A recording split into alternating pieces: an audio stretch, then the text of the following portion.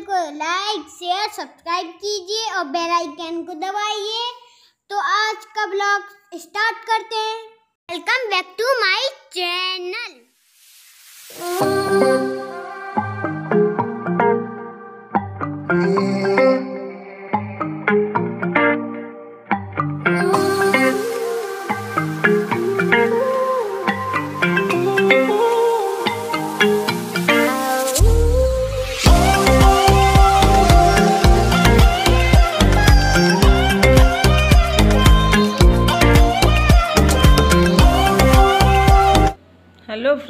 कैसे हैं आप लोग? और ये देखिए ये अ, कल शाम को ही झूला बनवाया था भगवान जी का।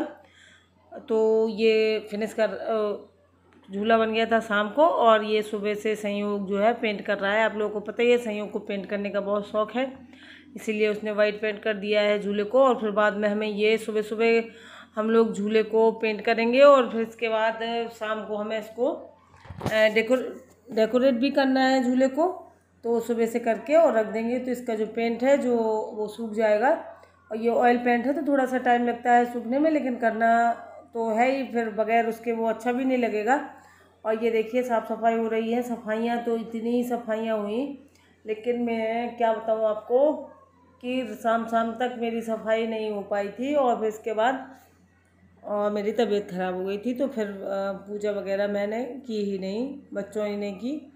ये देखिए तो ये कैबिनेट से जो टीवी की कैबिनेट है, उसके ऊपर जो ये रखे हुए थे सामान, जो शो पीसेस हैं। तो मैंने वो सब निकाले थे, उनको साफ़ किया, फिर दोबारा से लगाया।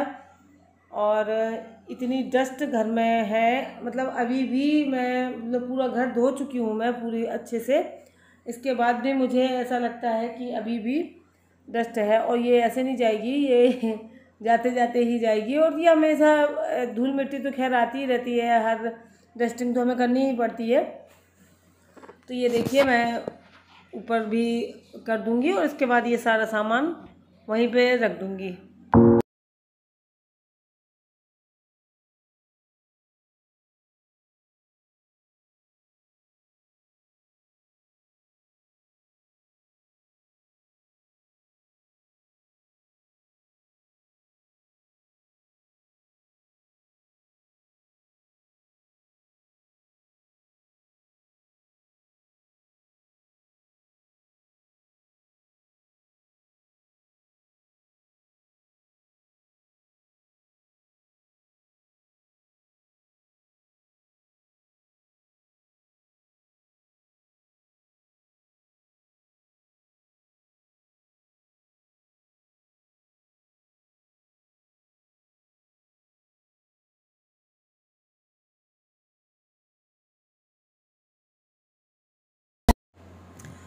और टीवी को ढक दिया था मैंने। वैसे गंदा तो हो ही जाता है टीवी ढकने के बाद भी गंदी हो गई थी लेकिन फिर मैंने ढक दिया था और ये मैंने बनाया था ऊन से फेविकोल से और ये तो ये थोड़ा सा लूज़ हो गया है। पहले बहुत ही टाइट था जब बना था और जो साउंड सिस्टम है वो भी मैंने यहीं पे ढक के रख दिए थे साइड में।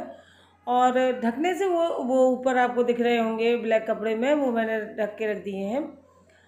और ये सब अ, ढकने से अब ये सब सामान मैं पोंछ के दोबारा से रख रही हूँ। तो ये गणपति जी है और इनको पोंछ के मैंने दोबारा से रख दिया है। ये फ्लावर्स वगैरह है, ये भी मैंने साफ़ कर दिए हैं और ये बेडरूम के हैं। तो मैंने अब यहाँ पे साफ़ कर दिया और मोबाइलों को तो पता नहीं, दिन में पचास बार ही कपड़ा लगाना पड़ता है, तब ये साफ़ रहते हैं। और ये देखिए, अब मैं मंदिर में आ गई हूँ। तो हॉल की मेरी जो है, वैसी डस्टिंग वगैरह है और अच्छे से करी है मैंने। ऐसे नहीं करी है मतलब डीप क्लीनिंग कह सकते हैं। आप बहुत अच्छे से करिए और ये देखिए तो मैं निरमा लगा के सर्फ के पानी से मंदिर को साफ़ कर रही हूँ, क्योंकि इसमें भी बहुत ज़्यादा महीन बारीक डस्ट है जो बिल्कुल उंगली अगर आप उंगली रखेंगे तो मतलब चाहे जितना कपड़े से पहुँचो, पहले कपड़े से ही पहुँचा था मैंने, गीले कपड़े से। लेकिन वो फिर अच्छा नहीं लगा, वो समय दिख रहा था तो फिर मैंने उसको पानी से और निरमा निरमा के सर्फ के पानी से धोया। ये मैं पूरे में लगा रही हूँ और इसके बाद मैं अच्छे से पानी डाल दूँगी। यहाँ पे पानी डालने का मैं थोड़ा सा डर लगता है क्योंकि लकड़ी का ये काम है। यहाँ पे फर्नीचर ये लगा बना है जो, ये सब लकड़ी का है तो इसके अंदर पानी चला जाता है तो ख़राब होने का भी डर होता है। लेकिन कभी कभार तो दो चार महीने में या छः महीने में एक आध बार धो देना, धो देने से कुछ नहीं होता है। और मैं धो देती हूँ अक्सर, कोशिश करती हूँ कि इसके अंदर पानी ना जा पाए। और थोड़ा मोड़ा चला जाता है तो पहुँच देती हूँ जल्दी से। तो इस तरीके से मैंने कर लिया था मंदिर साफ़।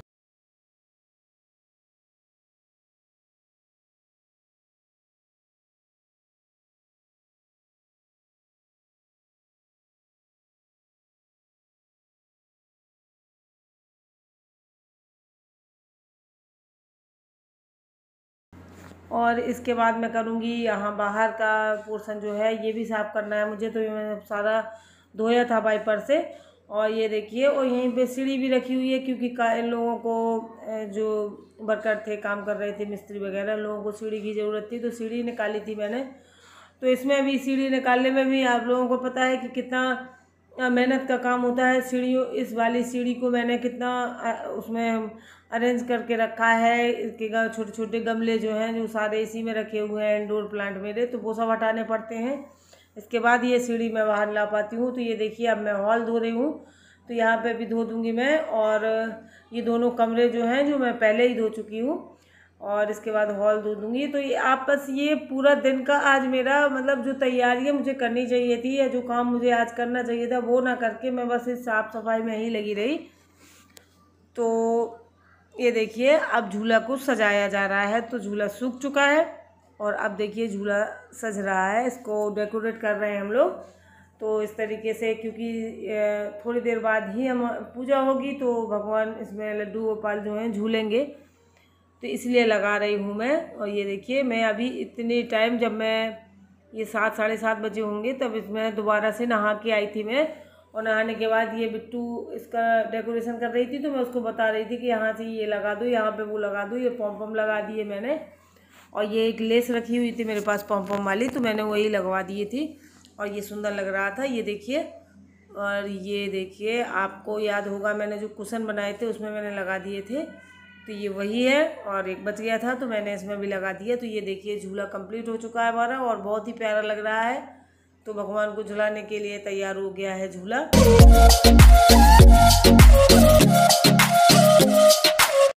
जन्माष्टमी सबको दिख ही रहा होगा तो कहानी सुनाता हूँ कृष्ण जी की, जब जन्माष्टमी जब उनका, जब वो पैदा हुए थे तो उनके पापा को छुपाने के लिए इतनी बड़ी बात से निकल के आए थे, उनको दे गए थे। इतनी थी उनकी कहानी। बाद में उन्होंने कंस को मारा था, फिर वो द्वारी कर दी। तो मैं आपसे सभी से कहता हूँ, कृष्ण भगवान से कह के आपसे भी कहता हूँ कि लाइक से सब्सक्राइब करें। हमारे चैनल को देखें, सब और बेल आइकन को भी दबाइए और नोटिफिकेशन आपके वॉल में आएगी। आप चैनल देखिए कृष्ण का भी कृष्ण के लिए आप हम लोग ये सब करिए लाइक करिए तो सपोर्ट करिए। तो बाय जय श्री कृष्ण। और ये देखिए ये भगवान कृष्ण बने हुए हैं संयोग तो इनको बहुत शौक है। अभी कुछ दिनों से स्कूल बंद है। एक, एक कुछ दिनों से नहीं एक डेढ़ दो साल होने को है स्कूल बंद है। नहीं तो ये स्कूल में ज़्यादातर करते रहते हैं फैंसी ड्रेस में कुछ, और ये जन्माष्टमी में भी बनते ये तो कुछ ना कुछ करते रहते हैं। अभी फ़िलहाल घर पे हैं तो आज वे घर वो घर पे ही बन गए थे। कहने लगे कि मैं बनूँगा कन्हैया तो मैंने सोचा, चलिए आप लोग इसकी भी मैं ख्वाहिश पूरी कर देती हूँ तो मैंने इसको सजा दिया था, बढ़िया। तो ये कन्हैया बन के और पोज दे रहे हैं, वीडियो बनवा रहे हैं, और इसके बाद मैं खाना लगाऊँगी, क्योंकि पूजा हो चुकी है, और इसके बाद ही इनका फ़ोटो सेशन हो रहा है। और फिर लगा दूँगी मैं खाना। तो ये देखिए, थाली मैं पहले ही लगा चुकी थी, बाद में मिट्टू ने थोड़ा सा आप लोगों को दिखाने की कोशिश की थी। तो ये प्रसाद है जो बनता है हमारे यहाँ अठवाई पंजीरी पंजीरी जो होती है, वही बनती है। हाय एवरीवन कैसे हैं आप सब? आई होप कि आप सब अच्छे होंगे, खुश होंगे। और आज जन्माष्टमी को मैं भी ठीक हूँ, लेकिन तबीयत ठीक नहीं थी, इसलिए मैंने थोड़ा सा पूजा नहीं की है। और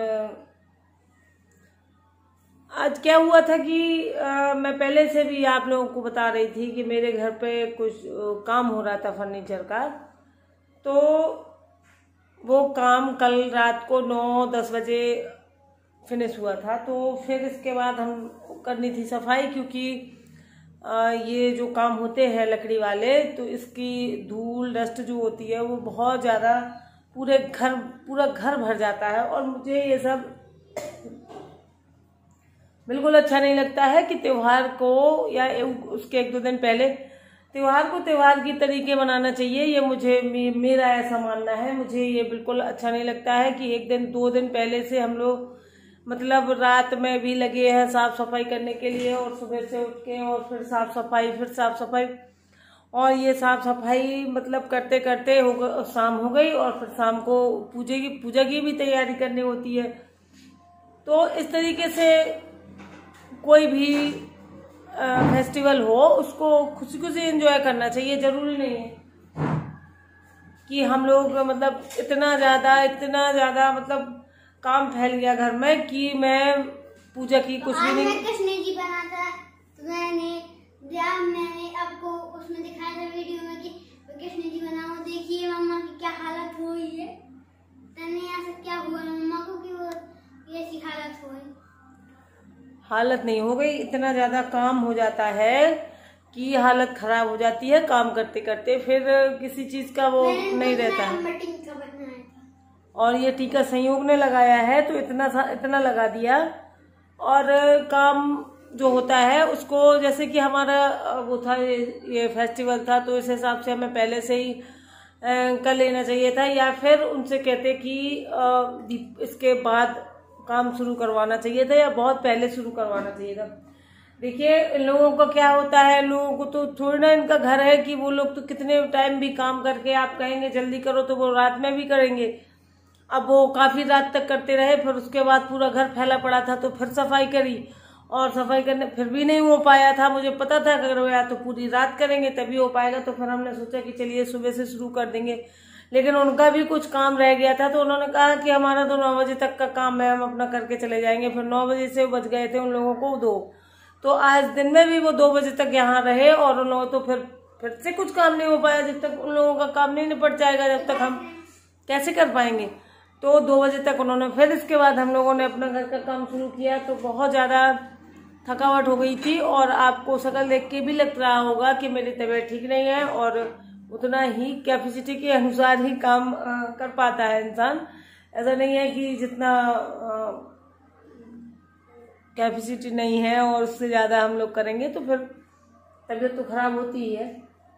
वही हालत हुई और मेरे यहाँ हमेशा से ऐसा ही होता है कि जब भी कोई फेस्टिवल होता है, कुछ भी होता है तो कोई एक्स्ट्रा ऐसे काम होते हैं जो उस फेस्टिवल के आसपास होते हैं। तो हमेशा से ऐसे ही होता है। मेरे घर में यहाँ भी ऐसा होता रहा है और ससुराल में भी मेरे इसी टाइप से होता है और वही यहाँ भी हो मतलब होता है।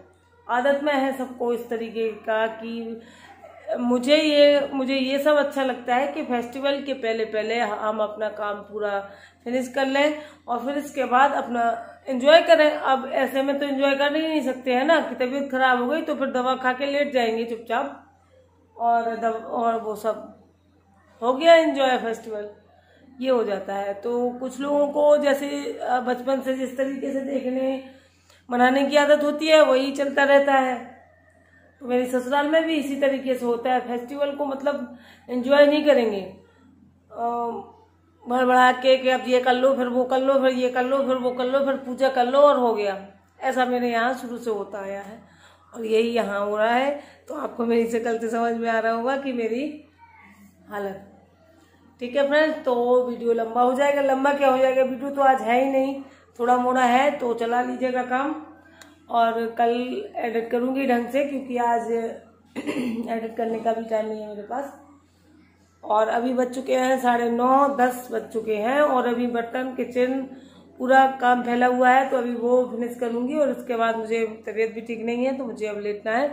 तो मैं वीडियो का कर रही हूँ एंड तो मिलेंगे कल के ब्लॉग में और कल तक के लिए बाय बाय फ्रेंड्स